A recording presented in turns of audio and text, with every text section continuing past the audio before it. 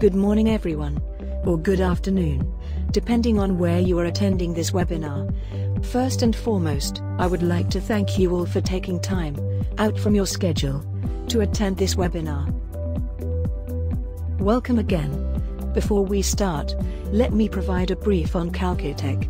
Kalkitech has long been an advocate of open standards and standards-based communication to facilitate interoperability in true sense. Our solutions enable customers implementing mission-critical applications across the smart grid, Industry 4.0 and IoT solution spectrum. Together with ASE Systems, Kalkitech has been providing solutions for utilities and industry for past 35 years. ASE being the US company acquired by Kalkitech in 2014-15. A few points to keep in mind before we start off. This is a listen-only webinar. However to facilitate clearing of your doubts, or queries that may arise during the course of the webinar, feel free to send us your questions by typing in the window provided during the talk itself. We would come back with our response to you by mail or phone. Today's topic is Secure All Based Remote Access for Transmission and Distribution Utilities. Recently, the world had seen a lot of changes in how we work. Social distancing and remote working have become a new norm in most of the industries. Critical infrastructure industries, such as power utilities being an essential service, have to ensure 24-7 supply of power to all consumers, irrelevant to the situation. So it's highly critical and essential for utilities to have a solution to enable them to work and solve the issues remotely, more than ever. However, it's also extremely important that this kind of solution should comply with the security requirements mandated for the critical infrastructures. Kalkitech has built a solution perfectly refined to meet this requirement. Kalki.io Secure Remote Access has strong authentication and role-based access management service, fine-tuned for industrial and utility networks. In this webinar we will discuss how the utility can easily handle this situation remotely, better than ever, by confronting all security vulnerabilities. We will also walk you through a small demo on accessing a protection relay and do the programming remotely, followed by how role-based access control is managed for remote access. Utility engineers or technicians would need to access substation assets from time to time, or utility may need to grant permission for device manufacturers or system integrators or contractors to access specific devices, as and when required. Electrical substations have various types of assets ranging from switchgear system, protection system and automation systems. Let's look at a few typical devices or asset types that would need to be accessed for maintenance or update. Maintenance access would be required for IEDs, which are used for network protection, or remote terminal units used for monitoring and control of IOS, or it could be meters which do electrical parameter measurements, or emerging unit at the process level. It could be a managed switches at the station level used to interconnect these systems within the substation. GPS clock which gets time from Time Master and synchronizes all other devices within substation network. Data concentrator or controllers which act as station controllers. HMI system used as local SCADA system. So depending on the scenario, utility engineers need to access assets from all three levels including process level, bay level, and station level assets. All these devices may be from different manufacturers, and require different software tools for diagnose and configuration, over communication media such as Ethernet or serial. Let's look at a scenario where a technician needs to access a protection relay to change some of its settings.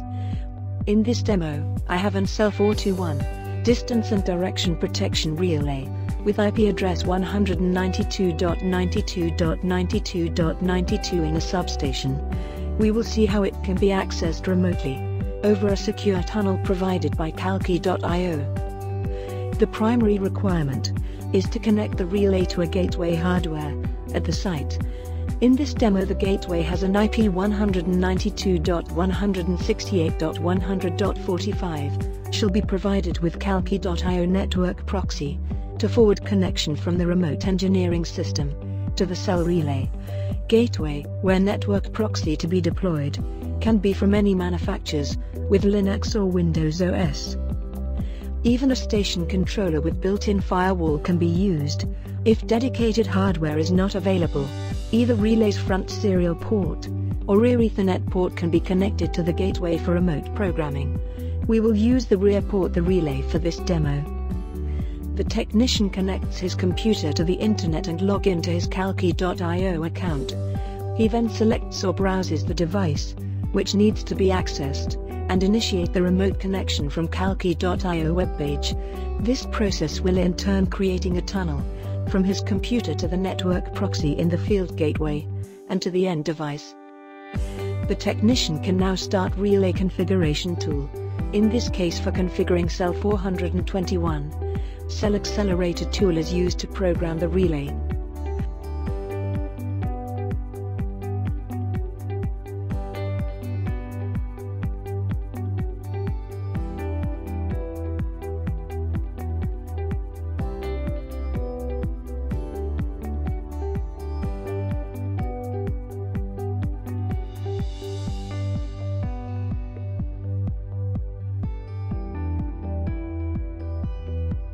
Once the technician logs into Kalki.io, he will see his default dashboard, with a set of widgets pre-configured. For the technician identity, he can use device connectivity widget, and enter the name of the intended relay which need to be connected to, in this case SEL relay, and test the connection healthiness. Connection status of end device to proxy, and from proxy to Kalki.io, are indicated here. He can also use Device Access History widget, and reconnect any of the end device he previously connected. If technician is using his computer for first time for remote access, he needs to install Device Connect application in his computer first. Device Connect app can be downloaded and installed directly from the widget provided on dashboard.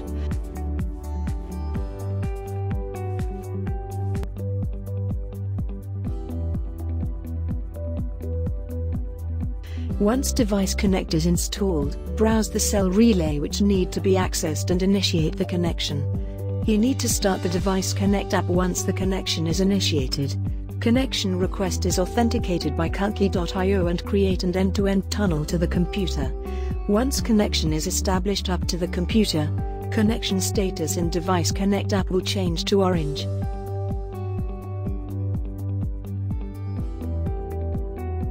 And it will also show the local port to which configuration tool need to connect to. In this case it's TCP port 5566.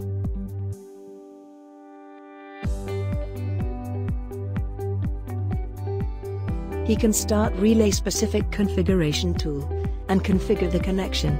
Here he will configure loopback IP 127.0.0.1 and local port 5566 in SEL AcSELerator, and initiate connection with the relay.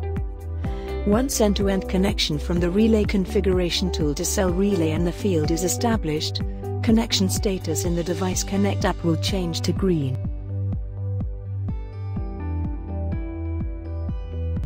Now read the configuration from the relay, using the read command.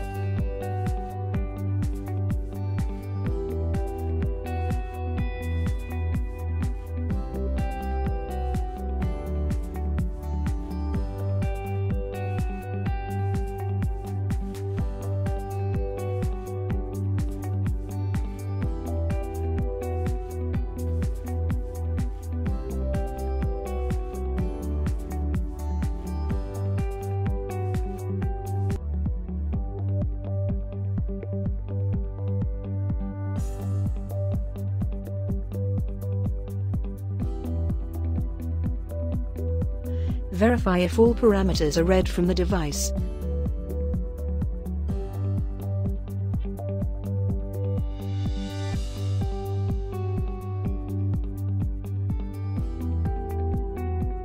and update the settings, which need to be changed. In this case we can change the phase sequence from ABC to ACB, save the configuration. The changed configuration is downloaded to the device remotely.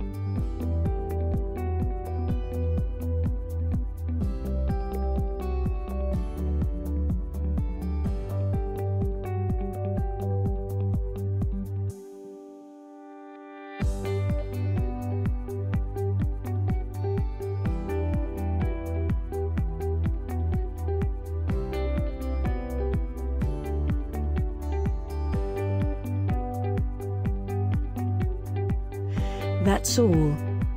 With a few steps privileged user can access any field device remotely without using VPN or another sort of connection still over a secured link. Let's look at how to set up a field device in a substation for secure remote access with role-based control. The first and foremost thing for secure remote access is setting up a gateway at the field and configure it to connect to Kalki.io using a network proxy. Then, configure the firewall rules in the gateway to block all inbound traffic to the network. This will be done by a network administrator who will be responsible for the network security in the substation. The administrator will logs into his Kalki.io account, download and install Kalki.io network proxy in the intended gateway. Next he configures gateway firewall to open up only port outbound 443 to establish a connection from field gateway to Kalki.io. All other ports can be configured as blocked. With this step, field network configuration is completed, and now gateway can establish a secure connection with Kalki.io. The next step is to configure the connectivity of the gateway to the end device.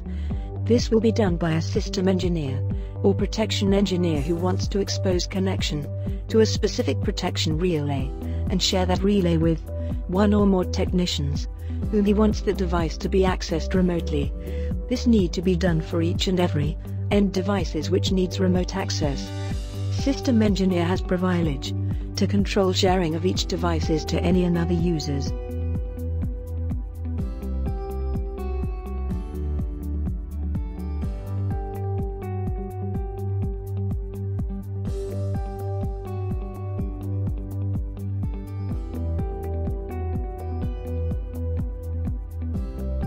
Let's see this in action. For setting up a gateway with Kalki.io network proxy, network administrator log into his Kalki.io account.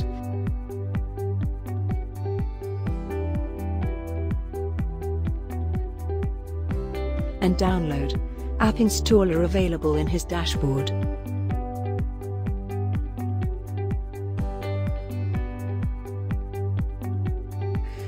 Start the app installer and log into his Kalki.io account. Make sure URL of the Kalki.io server is exactly the same as where the account belongs to. Connect gateway to administrator's computer over LAN and install network proxy using the app installer. The installer will prompt to select the package which needs to be installed in the gateway.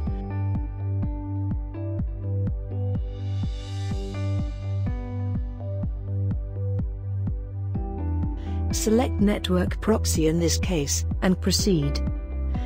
Select the OS of the gateway which proxy needs to be installed to. In this case it's a Linux gateway. Provide a name for the proxy, and make sure connection parameters to the gateway are properly configured, in the installer e.g., IP address, username, password. Depending upon the device, use advanced settings if required.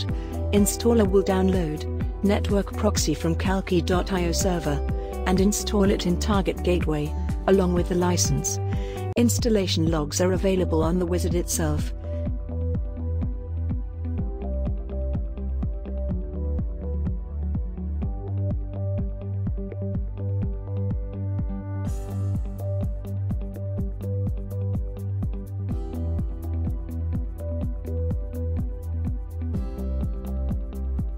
After installation Gateway Firewall can be configured to open up TCP port 443 for outbound connection to Kalki.io.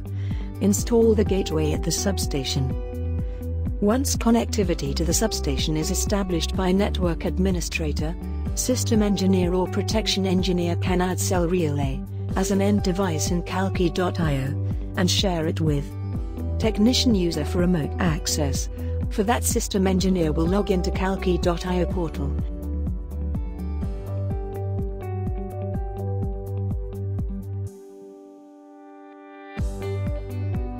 On the System Engineer dashboard, there is a Device Addition widget which can be used to add an end device, add end device details including device name,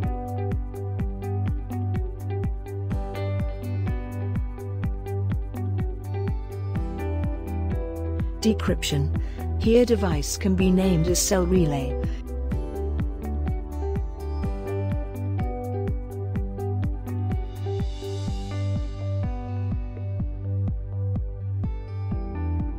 Select the proxy through which this device can be accessed to. Along with the device link parameters, including real IP address 192.192.92.92 and port number. Proxton configure connection parameter settings at the device configuration tool. End. In this case configure TCP port 5566 which SEL AcSELerator will get connected to locally.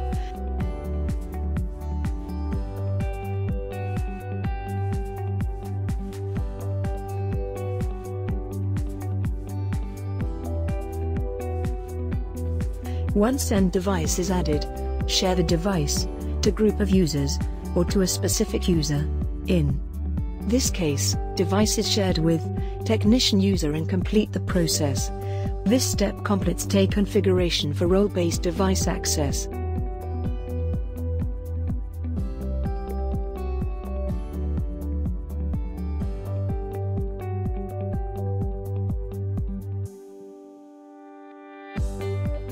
Here are some of the key benefits and features of Kalki.io Remote Access.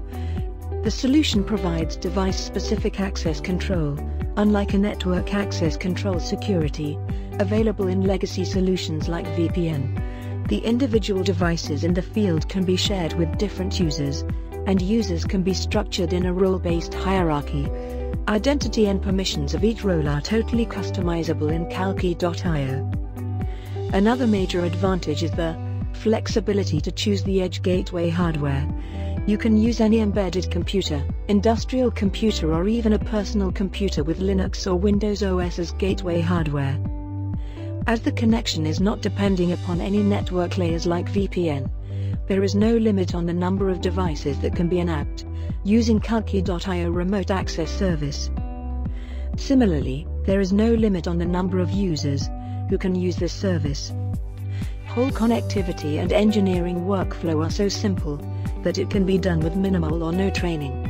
Remote access can also enable real-time monitoring and control functions using inbuilt protocol engines in Kalki.io. The audit trail function in the platform provides extensive details on the remote access historical operations.